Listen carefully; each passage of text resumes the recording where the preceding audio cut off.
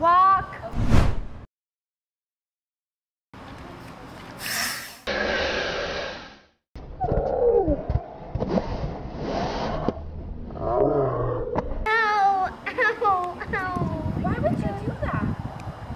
That'll teach her a lesson. She won't run next time.